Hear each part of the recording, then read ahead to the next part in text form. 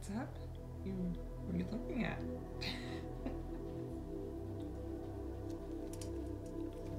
You're being a weirdo. Okay. Let's be quiet, okay? What are you doing? Guys are being weird today. I don't know, it's just a weird day. Jensen has not been sleeping. I have not been sleeping. When Jensen is sleeping, I don't feel like I'm sleeping very well, so I don't know what's going on. I'm running on empty. I'm gonna try to work out really quick. I have so much to do in a short amount of time, so let's just see how much we can do. All right, let's go check out on Jensen.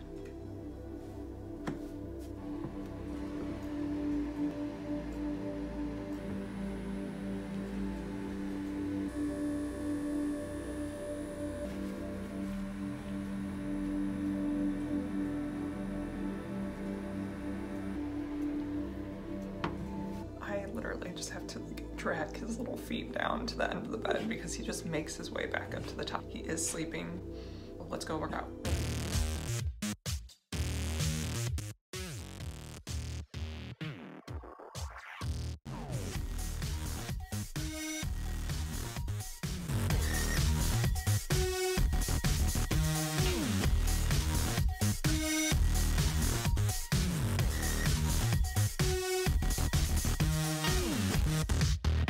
You guys, I am just feeling so extra today. I mean, look at this headband. I would never wear animal print, but like, I'm just feeling extra. I'm wearing jeans. Shut up, I know, I am wearing jeans. But look wouldn't be complete. Got my Crocs on because you know what? Boom. We all about the comfort in this household. But for real, I just have back issues and I have plantar fasciitis. I've had Achilles injuries. I'm just very good at hurting myself. I to wear shoes in my house because I need the support. You will be seeing a lot of my Crocs. It's fine. I got the weens. Hey weens. I did not get a full workout in. I wanted to do cardio, just a slow incline walking, but Jensen started making noise and I just knew I had a lot to do today. Okay, wanted to get it done. I'm gonna make a protein shake. He's kind of talking, we're just gonna ride that out. Oh my gosh, he's doing his cute little chatters, I love it. Let's make our protein shake. And lastly, because I am so extra today, I just have to point out, boom, my face. I started eating healthy. I had to go cold turkey, do a cleanse, as clean eating as I possibly could. My skin is thanking me. It feels so good. I won't lie, I have not been working out consistently. Just haven't had the motivation to be consistent about it. Just slowly adding on each week something new because I have realized there's so much that I want to accomplish, but I'm spreading myself thin. I need to like build on top. Another thing I want to do is I really need to start doing yoga because I hurt myself all the time. I just know it'd be good for me. you want an ice cube, don't you, buddy? All right. I've been craving a protein shake. We are going to make a peanut butter chocolate banana shake. We got some ice, we got our frozen banana in here. Chocolate whey protein. I love to use this PB2 because it is not as many calories as normal peanut butter. But again, I'm feeling so extra today. I'm gonna use PB2 and real peanut butter. And our peanut butter. So excited. I made a post back in the day in my Instagram. I had probably eight things of different kinds of peanut butter in our cupboard because you can take away my carbs, but you can never touch my dang peanut butter. I promise I would not lead you astray, but you guys, you have to add spinach. It will not change the taste. I added two or three cups of spinach to my shake the other day. Couldn't taste it. Did it turn it green and look really nasty? Yes. I did make a rookie mistake and I put way too much in here. I'm actually not gonna be able to fit too much spinach in here, but it's fine.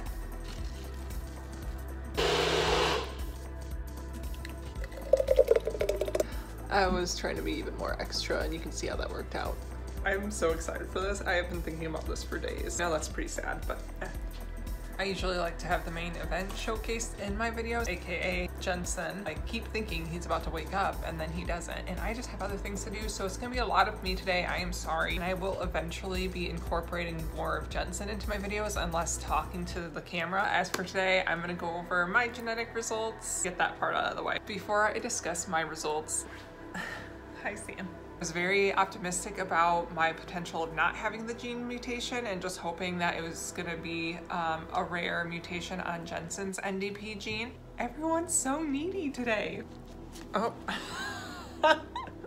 Because I was trying to work it out. If I would have inherited the gene mutation from my dad, my dad would have had the condition. He would be blind. So it didn't come from my dad. Hey, what if I got the gene mutation from my mom? So that seems really rare because I have two brothers and she had a 50-50 chance of passing it on to her boys. So the fact that my brothers aren't blind I have a good chance that it was just a random mutation in Jensen's genes. Of course, I didn't want to get my hopes up. And I'm working back into my mom's family line, and she's got five siblings, three brothers, two sisters, and I'm working it out in my head. And no one's blind. Wouldn't have been possessed in one of the men, all the female carriers, but they all have kids, and they have kids, and it's just like, where did it come from? I was just very optimistic that Jensen maybe just had it sporadically in his gene. However, as I've learned with this disease, it's just better not to get your hopes up because uh, kind of get crushed along the way. Oh, thank you.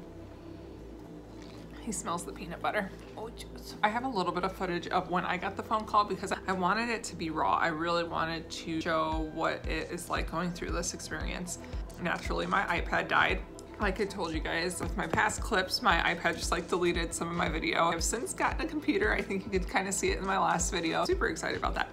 All right, these are my genetic results. Super exciting, super official. It says, your NDP gene analysis results return positive. You are a heterozygous carrier of NDP gene exon 3 deletion. Ding! I have a mutation.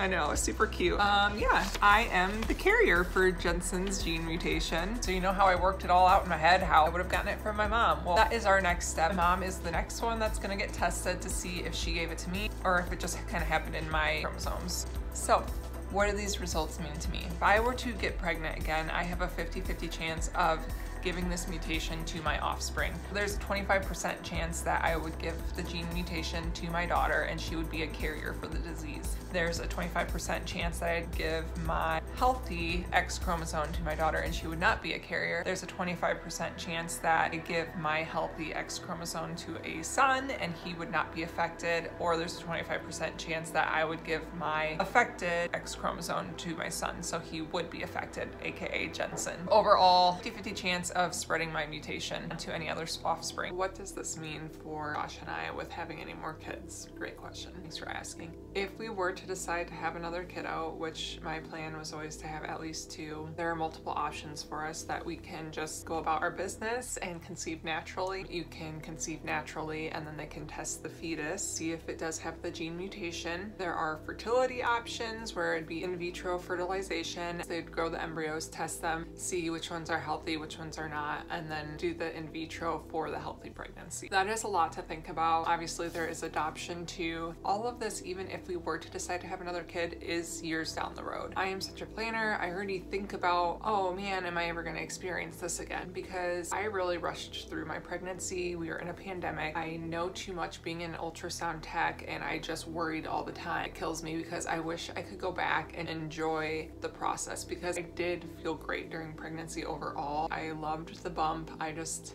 loved everything about that and have never felt more beautiful in my life. I am gonna be very sad if I don't get to go through that experience again. With that being said, again, we don't know what kind of journey we're gonna have with Jensen. If we were to decide to have another kiddo, then Josh and I know that we, we both feel like we could not go through this again. We would not be able to just conceive normally and just go about our business and kind of see what happens. That's just not for us. Major kudos to all the families that do do that. That wouldn't be part of our options. I personally would not be able to conceive normally and then test a fetus and then say the fetus does possess the gene. I am just personally not able to then get rid of that fetus. That would not be part of our options either. That would lead us to in vitro and testing an embryo before implantation, which is just another whole spectrum of how do I feel about that. It's really hard because I definitely want to be pregnant again and these other options aren't gonna work for us, so this is my only option. But then to think about it as I am choosing a healthy baby over a mutation baby, I really truly can't imagine not having Jensen. I don't regret anything about Jensen. I mean, do I wish our circumstances were different? Of course, but I wouldn't change him. He is who he is, and I love that kid. And he's already taught me so much, so I would not change that for the world. Therefore, I then feel very guilty to choose a healthy baby over one that possesses the gene mutation. Go ahead, Sam. Good boy. As my disclaimer, I really don't know all the ins and outs of the whole fertility part of this. I did talk to our genetic counselor and we are getting set up with a fertility team now just to get our questions out of the way and just to be able to have an idea of what our future might hold. The other aspect of this, what does this mean for Jensen and if he were to have kids? Males have XY chromosomes and females have XX. The reason why I don't show any blindness or anything is because I have my mutated X chromosome and then I basically have a backup, so my other X chromosome. So I still have a working copy. But for men, since I gave my X chromosome to Jensen, Josh gave his Y chromosome to Jensen, therefore he only has my X chromosome and the 50% chance that he got the one that was not working. That's how he possesses my mutated X chromosome. If he were to have boys, he would not pass the gene mutation on because he would be only giving his Y chromosome. If Jensen had any girls, he would be giving his mutated X chromosome to them. However, they would likely not possess any retinopathies or show any symptoms, but they would be carriers for the gene mutation. As always, thank you so much for listening. Next week, I'm gonna try to do a little less of me just talking to the camera and incorporate a lot more of Jensen. I thought it was very important to cover our past and how we got to where we are today. These next couple videos are going to cover more of the day in the life, why we do what we do with Jensen, why we position him certain ways, things that we talk to him about, and just like physical therapy and how that process works for us. And lastly, it is a huge help if you like and subscribe our videos and just please help us spread the awareness and help others that might be going through the same position as we were and just need to have a little bit of light at the end of the tunnel just to know you're not alone. There are just so many awesome resources out there and I am definitely here to help. Thanks for putting up with my extra-ness today. Okay, bye. Your targeted NDP Janae. Oh my gosh. Gene analysts. I cannot handle myself. Blah, blah, blah, blah. Okay.